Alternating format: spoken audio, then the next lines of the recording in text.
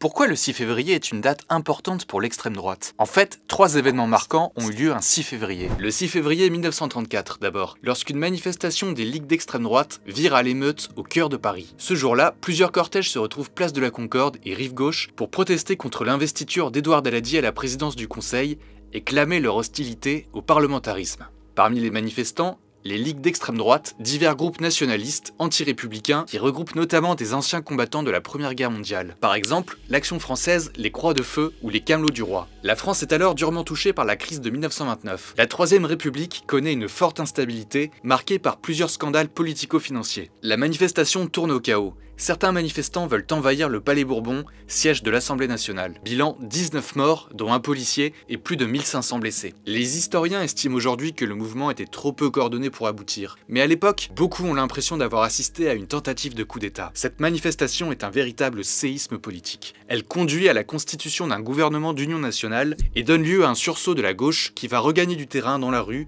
et dans les urnes. Mais pour les ligues d'extrême droite, le 6 février doit rester un symbole. C'est l'idée euh, d'une république euh, qui a euh, assassiné, hein, c'est le, terme de l'action française, après les voleurs, les assassins, un certain nombre de militants. Il y a effectivement toute une logique de défense des victimes. Et d'ailleurs, c'est un homme de l'action française, Louis Darquier de Pellepoix, qui va prendre en main la création d'un comité pour les victimes de février. Le 6 février, hasard de l'histoire, c'est aussi la date de l'exécution de Robert Brasillac en 1945. Brasillac est un écrivain et journaliste, mais c'est surtout un fervent collaborationniste. Il a notamment été rédacteur en chef du journal antisémite Je suis partout. La veille de son exécution, Brasillac écrit un poème depuis la prison de Fresnes et rend hommage aux victimes de la manifestation de 1934. Le poème se termine ainsi. Je pense à vous ce soir, aux morts de février. Brasillac fait effectivement le lien et son exécution renoue euh, avec l'idée d'un martyr. La mémoire du 6 février s'est estompée avec le temps. Pourtant, aujourd'hui, certains groupuscules continuent à rendre hommage à Robert Brasillac à cette date au cimetière de Charonne.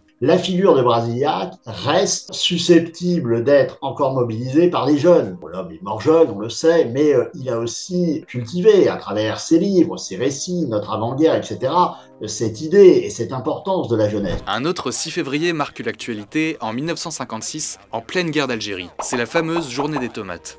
Le président socialiste du Conseil, Guy Mollet, est en tournée à Alger lorsqu'il est violemment pris à partie par des partisans de l'Algérie française. Ces manifestants lui reprochent d'avoir nommé le général Catroux, un homme réputé peu sensible aux intérêts des colons européens. Face à la fronde, Guy Mollet est exfiltré et doit renoncer à nommer le général Catroux. Ce 6 février 1956, il est important aussi parce qu'il va donner euh, à ces activistes d'Alger le sentiment qu'ils peuvent faire plier Paris et on va le retrouver bien sûr en mai 1958. Et le 13 mai 1958, ce qu'il est intéressant de noter, c'est qu'il a inspiré ce 13 mai des réflexions euh, à Pierre Tétinger, l'ancien patron des jeunesses patriotes du 6 février 1934. Euh, Il fait un parallèle entre le 13 mai et le 6 février en expliquant qu'ils auraient pu réussir le 6, ce qui a été réussi le 13 mai,